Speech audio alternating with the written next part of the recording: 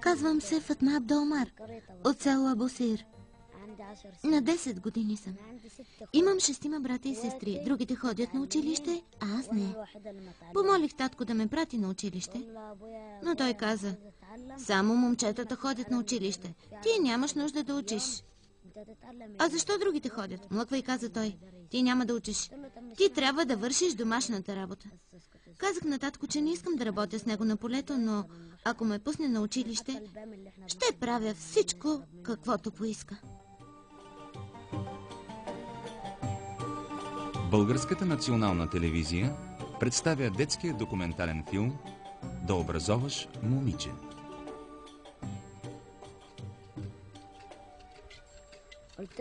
Имам една братовчетка, която вече ходи на училище и ми се подиграва, че аз не уча.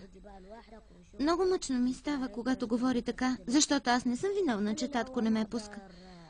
Когато вечер братята ми седнат да си учат уроците, аз не знам какво да правя. Веднъж се разплаках пред мама. И тя ме попита, защо плача. Казах и, че татко не ме пуска на училище. Много го молих, обаче той каза, че съм била вече голяма, на 10 години. А аз знам, че в нашето село има училище за момичета, които са като мен. Казах това на татко. Тогава той ме пусна, но каза, че ако се изложа, няма да ходя повече.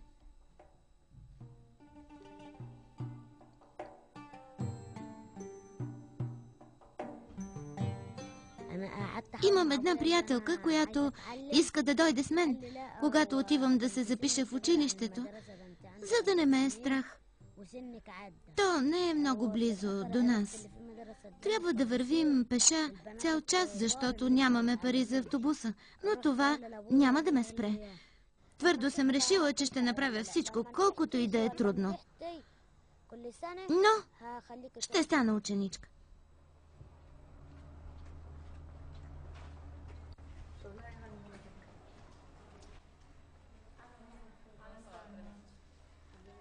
Искам да идвам на училище. Добре дошла. Първо трябва да попълним документите.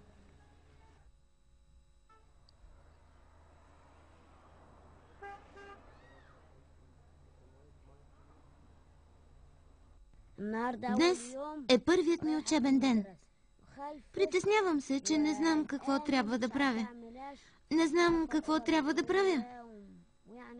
Помогни ми, Господи. Помогни ми. Да не се изложа. Как се казваш? Фатма. На колко си години? На 10.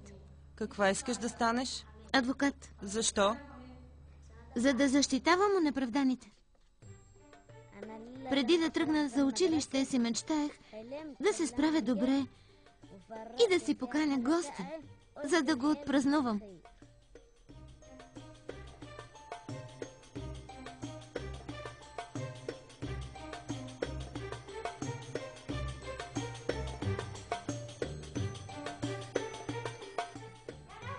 Днес ще ви изпитвам с пръчици.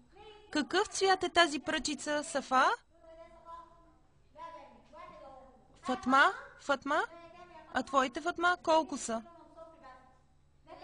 Две. Две жълти пръчици. Ти колко имаш? Три. Три червени пръчици. А твоите?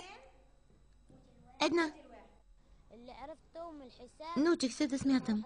Ако отида да купя един килограм домати, които струват една лира, и дам на продавача 5, той трябва да ми върне четири.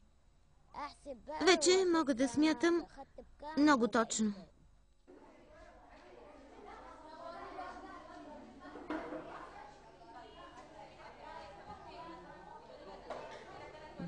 Само за няколко дни се запознах с почти всички момичета от училището. Сега сме в кабинета по изкуствата, където правим кукли и рисуваме картини. Обичам да рисувам цветя, къщи, хора, кукли и много други неща. Какво си нарисувала, Фатма?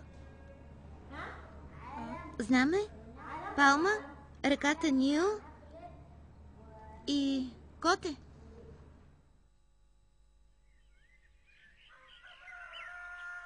Училището се намира много далеч от вкъщи.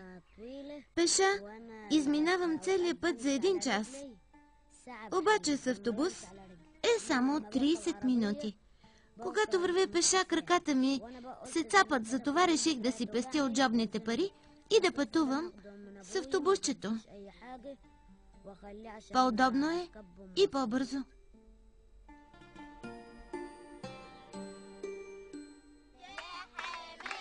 О, гълъби! Какви прекрасни красиви същества! Белият гълъб е символ на мира. На рамото ми е кацнал тъмен гълъб. Прекрасни гълъбчета! Колко се радвам!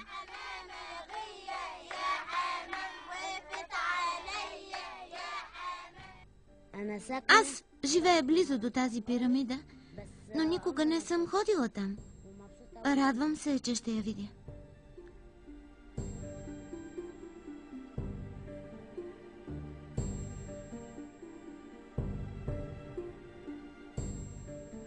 За пръв път отивам някъде с ученичките си.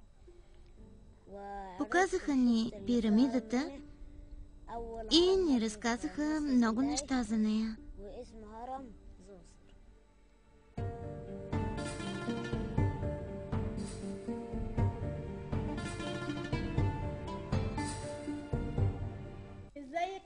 Как си, бабо?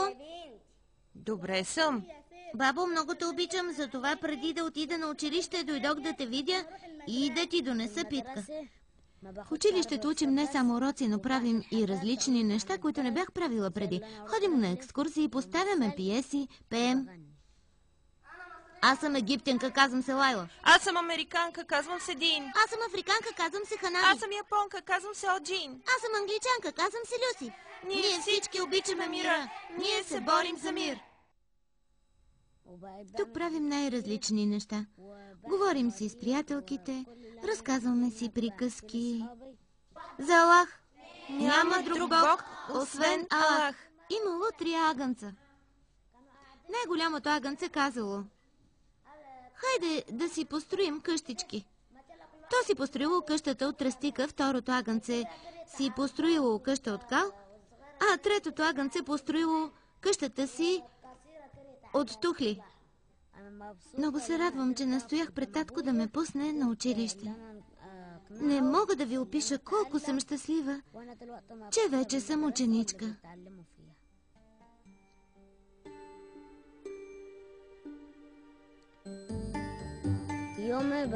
След като тръгнах на училище, денят ми протича съвсем различно.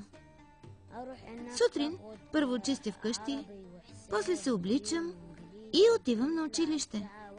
Там уча математика, арабски, религия и английски. Свършваме в един часа. После се прибирам вкъщи и обядвам. Яхвам магаренцето си, отивам на полето. Там храня животните, давам им вода. Освен това трябва да копая и да поливам, да бера плодовете. Понякога Чичо идва да ми помага и работим заедно. После се прибирам, вечерям и започвам да си уча уроците.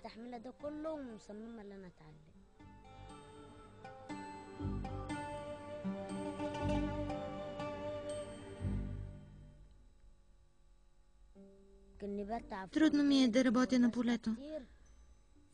Но мечтата ми се сбъдна. Изморявам се и на училище ми се спи.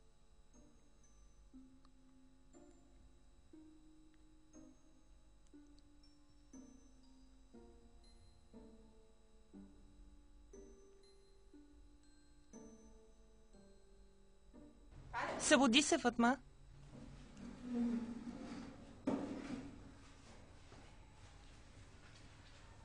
Кана, напиши думата.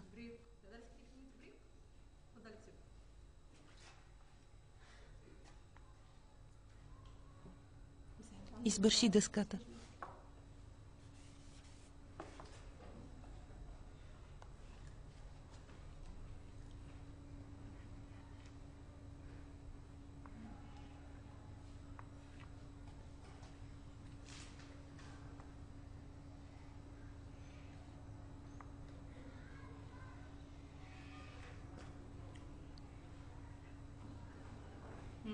Какво има Фатма?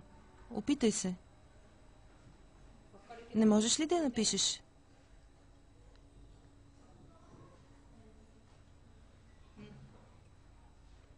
Кана. Кой може да напише Кана?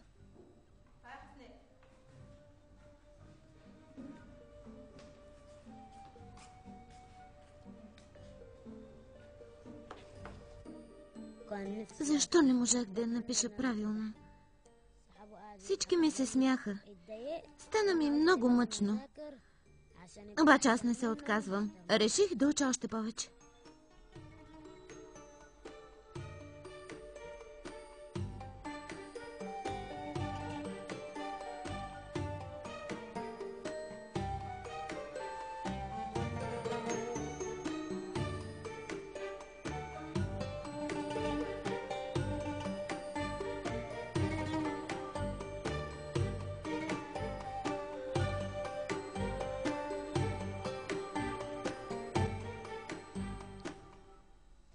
Гълъб?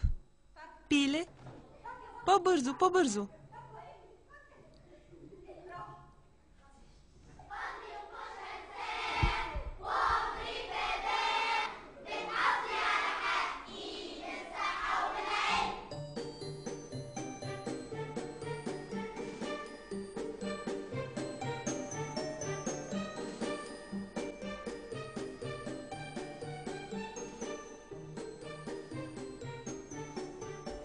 Утре имам изпит и много се притеснявам. Но ще се опитам да се представя много добре. Кокошка.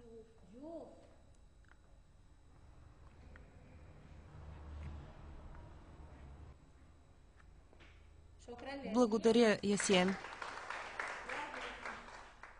Някой може ли да прочете третата дума? Помислете си внимателно. Хайде, Фатма.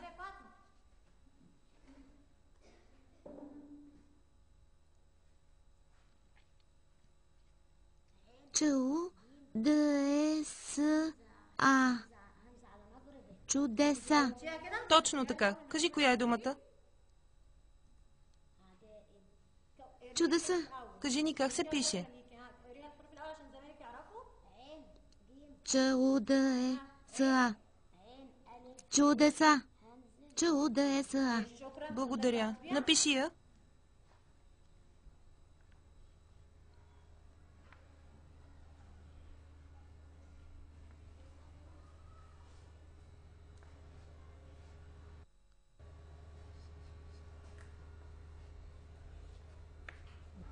Браво! Отлично, Фатма! Фатма написа чудеса. Ръкопляскайте й.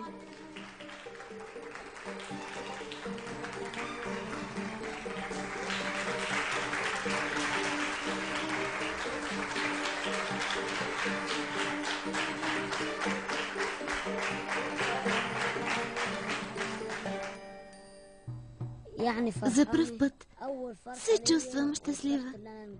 Ще продължавам да уча, докато завърша университета и накрая ще стана адвокат.